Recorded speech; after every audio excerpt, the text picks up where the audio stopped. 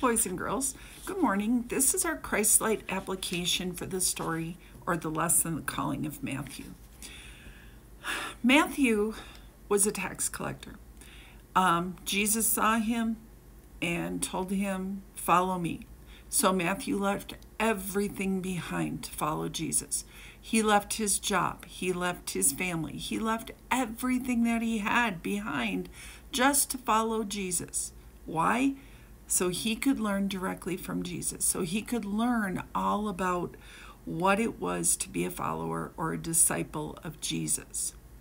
So, this is a good example for you and me. No, I'm not saying that we have to leave everything behind, but how do we follow Jesus? We follow Jesus by learning his word. Every day we should be opening up our Bibles and studying our Bibles, not just when I'm having Bible history class with you, but even in our free time.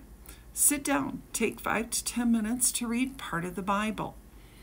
Obey Jesus. In the Bible, God gives us good lessons, or God gives us good advice on how to live our life. He gives us the Ten Commandments. He teaches us what it means to be a follower of Jesus, what it means to live a life that pleases God. We need to obey that, to do what He tells us, to serve Him in whatever way we can. Mom and dad tired when they get home from work? Help them out in the kitchen. Take the garbage out. Do whatever you can to help around the house to make things a little bit easier. Do you have a neighbor who's older? Go help that neighbor out. Rake their lawn. Uh, take their garbage out. But serve Him whatever ways we can. Whenever we help others, we're serving Jesus. Okay?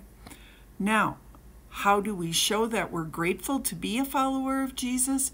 We honor Jesus with our words and with our actions boys and girls, and our attitudes.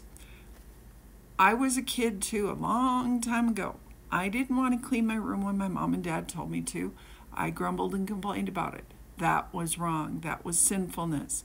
We honor Jesus with our words when we're talking nicely, when we're encouraging one another, with our actions, when we do what God wants us to do, when we help others out, with our attitudes, when we do our work cheerfully and willingly. I know it's not fun to do work. I don't like doing work either sometimes, but a lot of it is in our attitudes. So we honor Jesus with our words, actions, and attitudes. We also um, are, show that we're grateful to be followers of Jesus by telling others about Jesus, by bringing others to church. This shows people that we're proud to be Christians. We're proud to be followers of Jesus it's a good thing to be a follower of Jesus. Um, so now we want to go and tell others about Jesus. That is the big thing that God wants us to do to share His word with others so that many more people can come to be with Him in heaven. So now that you've listened to this application, I want you to go to Edmodo and find the Christ Light quiz for this story and take that quiz. You're not going to do a good job if you did not watch the whole video. Have a great day.